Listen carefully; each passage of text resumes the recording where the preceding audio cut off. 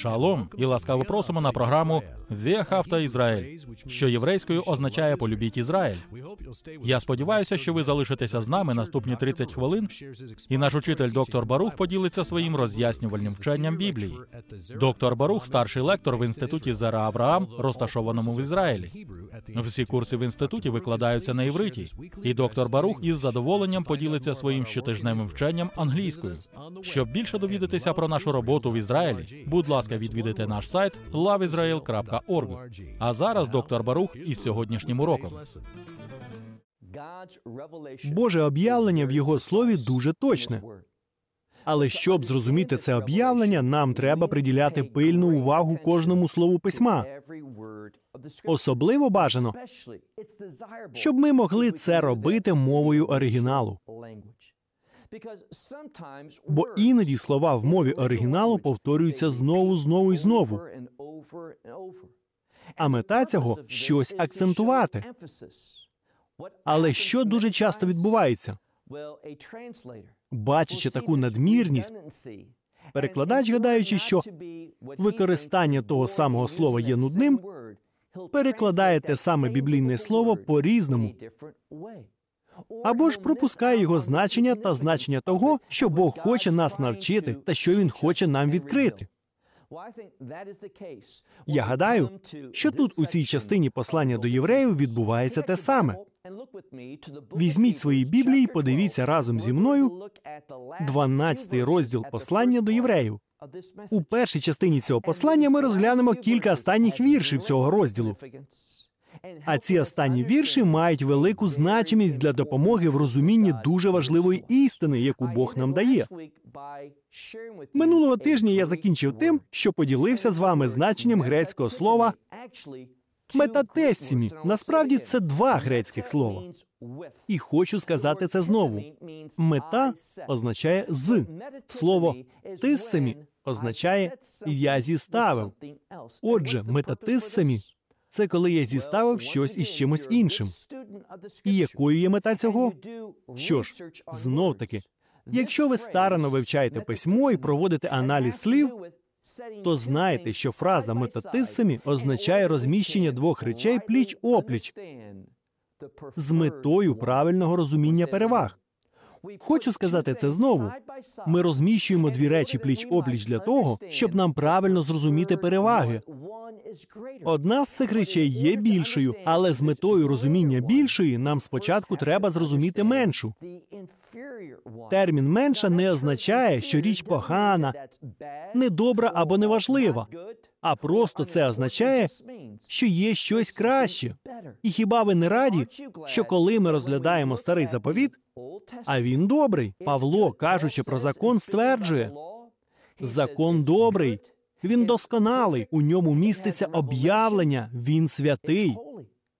Коли ж ми переходимо до нового заповіту і бачимо головне його послання, яким є Євангелія, початок Євангелія не в новому заповіті. Є безліч пророцтв, прообразів для розуміння Євангелії в старому заповіті, і в законі, і в псалмах, і в пророках. Але ось що нам треба зрозуміти. В нашому вивченні послання до євреїв ми наголошували на служінні Месії. Дозвольте, я скажу це по-іншому. На священстві Месії. І з метою розуміння священства Месії автор послання до євреїв і з цього приводу немає незгод. Автор послання до євреїв, будучи натхненний Святим Духом, обрав казати про Малкицедека, українською про Малхиседека. Що ми про нього знаємо? Ми знаємо про нього тільки те, що сказано в Торі та в книзі псалмів. Ми казали про те, як Малхиседек вийшов на зустріч Авраамові після перемоги над ворогами.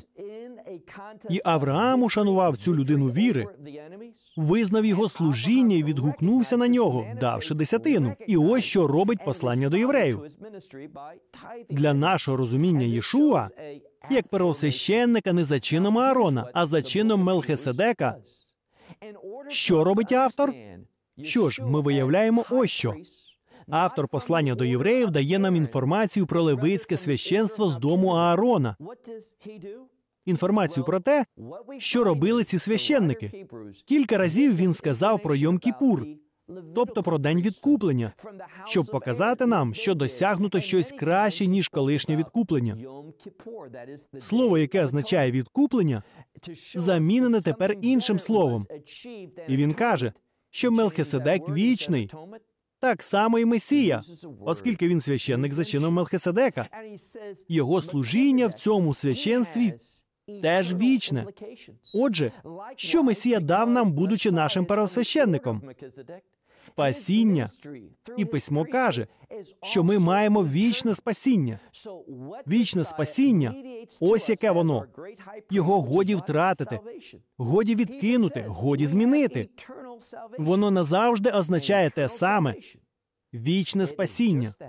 Отже, ми маємо цю парадигму, де сказано, що є священство Аарона, левицьке священство, а є священство Мелхиседека. І Єшуа є священником за цим чином. Виходить, для розуміння священства Єшуа ми порівнюємо його зі священством Аарона. Якщо ви розумієте перше, це допомагає вам зрозуміти друге. Цілком так само в Торі був закон для левицьких священників, і ми виявляємо, що є закон і для священства Мелхиседека. Те, що робив Месія. Який же закон? Євангелія. І ось проблема. Ось де я хочу роз'яснити, бо багато людей, і ми казали про це, коли вивчали сьомий розділ послання до євреїв, 11 та 12 вірші. Ці люди кажуть, зі зміною священства має бути змінений і закон. І їхній висновок треба позбутися старого заповіту. Але ось проблема. Це суперечить меті автора послання до євреїв. Він каже: ні, якщо ми його позбудемося і скажемо, я ніколи не навчатиму про закон, ніколи не казатиму про те священство. Воно в минулому і вже не має значення. Що ж тоді буде? Ми не зможемо зрозуміти священство Єшуа. Ми не під законом. Я ніколи не навчав, що ми під законом. І ніколи так не вважав. Але що це означає? Ми не під законом, ми не під судом закону. Але знаєте, чого це не означає? Це не означає, що тепер заборонено вивчати Біблію від книги буття до повторення закону. І це не означає, що старий заповіт не має значення. Так, левицького священства сьогодні ми не маємо. Ми не маємо храму, але не можна казати, що від закону немає користі і вивчати його не треба.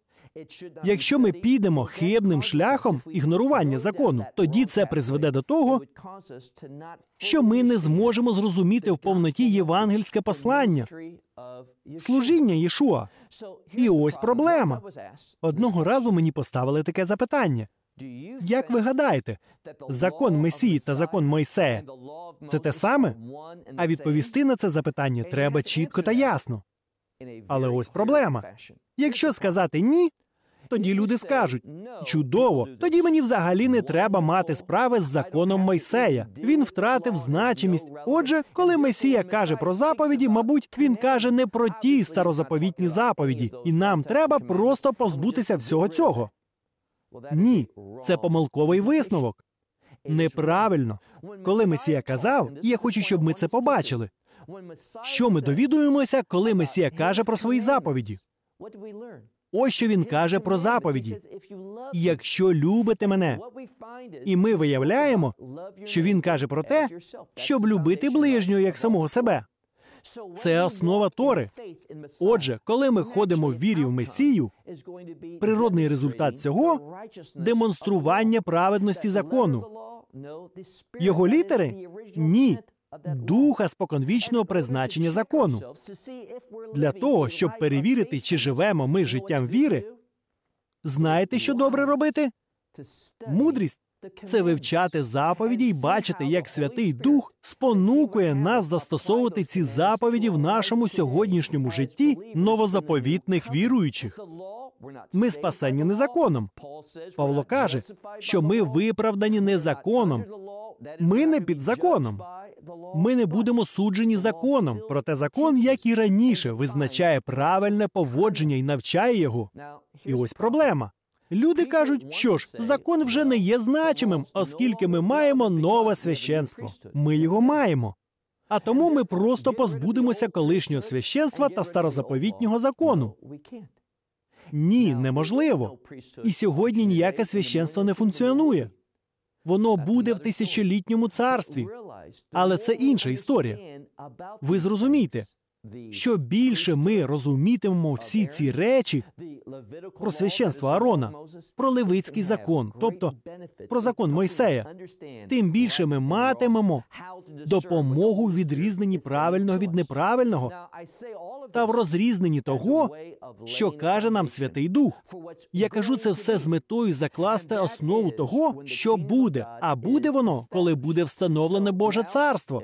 Якщо я не сказав уже, то скажу. Подивімося місце в 12 розділі послання до євреїв, на якому ми зупинилися минулого тижня. І я хочу почати з 27-го вірша. Ми вже сказали, що Бог щось зробить, що він скаже це з небес. Він захитає не лише землю, а також і небо.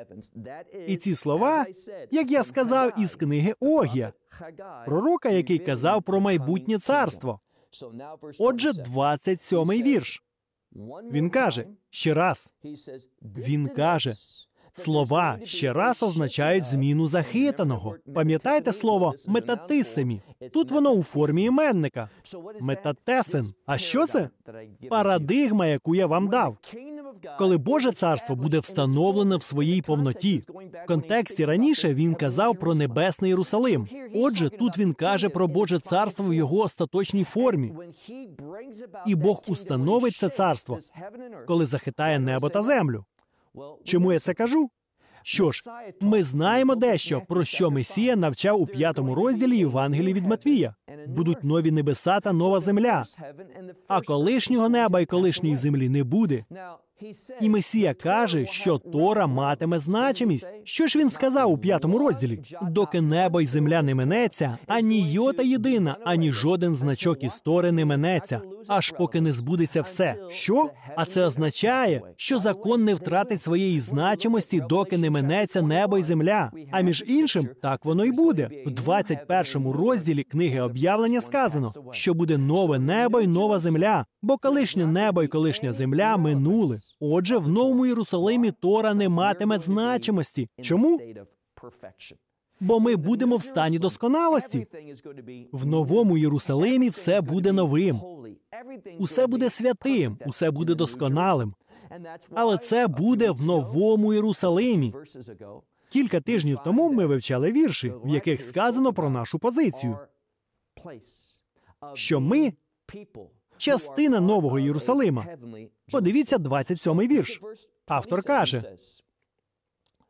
А ще раз визначає. Це означає, що ще в одному місці письма, яке ми процитували, сказано захитаю небо й землю. А ще раз визначає заміну захитаного. Метатисин. А що це? Це парадигма. Парадигма, де ми поміщаємо дві речі пліч опліч. І сьогодні це необхідно. Це означає, що сьогодні необхідно вивчати і розуміти закон, але він буде переможений, усунений іншим. Як тут сказано? Подивіться далі в 27-му вірші. Як створеного. Для чого? Для того, щоб пробувало непохитне. Виходить, залишається те, що захитане бути не може. Що було переможене? Небо й земля. А що є непохитним?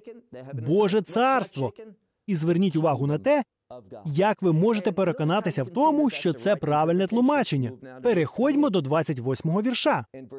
В 28-му вірші сказано: Отож ми, що приймаємо царство. Яке царство? Що приймаємо царство непохитне. Ми маємо непохитну надію за допомогою чого? За допомогою служіння левицького священства. Не воно робить царство непохитним. Це відбувається через священство Мелхиседека. Але знов таки, ми не можемо зрозуміти ці речі, якщо ми не вігласи в Торі. В цьому разі ми виведемо зовсім хибний висновок, прочитавши послання до євреїв. Отже, автор каже: подивіться, 28-й вірш. Отож, ми, що приймаємо царство непохитне. Отже, приймаючи це царство, що ми робитимемо? Зверніть увагу на те, що тут сказано. В деяких бібліях це слово перекладене як радість або подяка. Але буквальне слово тут пікінг від слова благодать. Ми маємо благодать. То що робить автор? Хіба неправильно сказати, що коли ми кажемо про царство, ми матимемо радість та подяку? Звичайно, ні. Але ось що прагне зробити автор. Він прагне вказати на результат, на те, чому ми маємо це царство. Ми маємо його, бо ми прийняли благодать. Інакше кажучи, є зв'язок.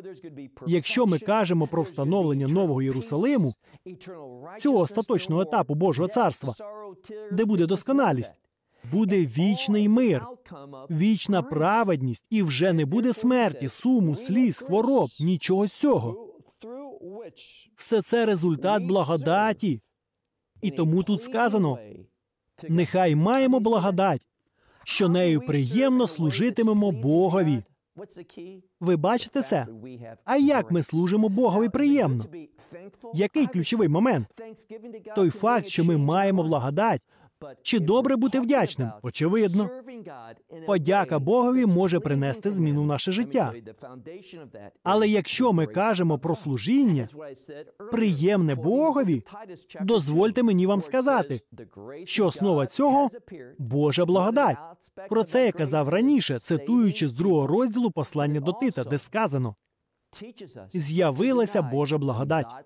Один з аспектів цієї благодаті спасати людей, але також вона навчає нас, відкинувши нечестя, жити праведно та побожно, де? в нинішньому часі. через благодать ми демонструємо те саме, що буде в Божому царстві.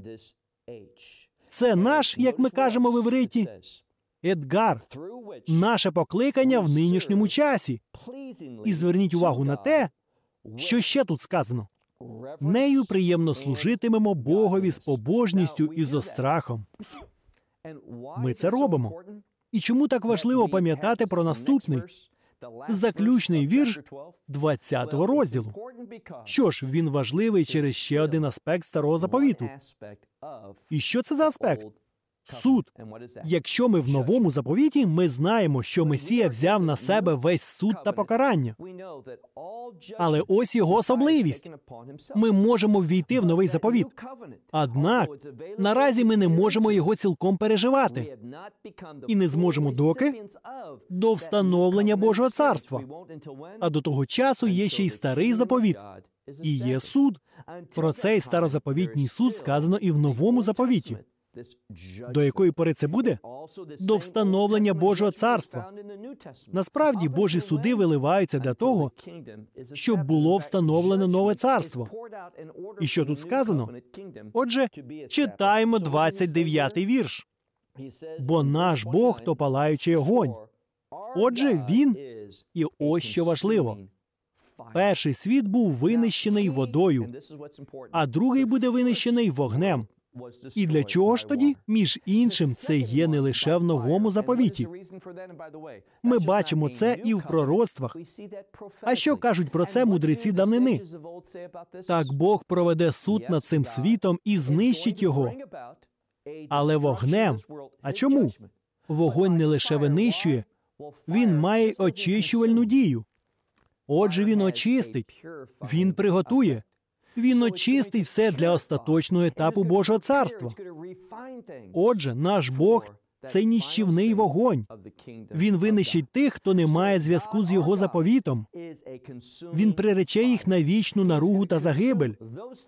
А ті, хто має з ним взаємини заповіту, будуть очищені для вічності, щоб переживати праведність та інші якості Божого царства. Оскільки в нас залишився час, перейдімо до 13 розділу.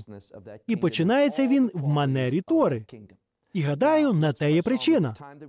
Бо якщо ми не будемо уважними, якщо робитимемо хибні висновки, які багато хто робить при читанні послання до євреїв, то гадатимемо, що на Торі не зроблено ніякого акценту. Але саме це і робить автор. Я нагадував вам і сподіваюся, що ви розумієте основу. позначено апостолом Павлом. А це добре джерело. Він написав це за натхненням. Вся Тора в одному слові полягає: люби ближнього твого як самого себе. На івриті веахавта лареха камоха. Отже, вся Тора полягає в цьому: люби ближнього твого як самого себе. Автор починає 13 розділ, кажучи те саме, але по-іншому. Той самий зміст, але висловлений інакше. Гадаєте, так вийшло випадково? Гадаєте, автор неправильно процитував або перефразував заповідь? Ні. Він дав цю заповідь Тори люби ближнього твого як самого себе новою мовою, по-іншому, бо буде вище застосування Тори. Що каже тут автор? Подивіться 13 розділ, перший вірш. Він каже: братолюбство нехай пробуває між вами. І це заповідь. Дехто викладає так: нехай братолюбство перебуває. Але зрозумійте, це веління, заповідь, братолюбство. Люби брата, люби ближнього як самого себе. Отже, це якість Тори, основа Тори. І воно продовжує діяти для тих, хто перебуває під священством за чином Мелхиседека, тобто для тих, хто прийняв Євангелію через Єшуа, нашого великого священника. А чому ця заповідь викладена по-іншому? Не дуже давно я був разом з однією групою. І ми були в області відомій як Талмудичне село. І ви можете його відвідати. Воно розташоване на голландських висотах. І там ми розмовляли про те, що в тисячолітньому царстві теж будуть міста для притулку. Хтось спитав: а чому в тисячолітньому царстві будуть потрібні міста для притулку?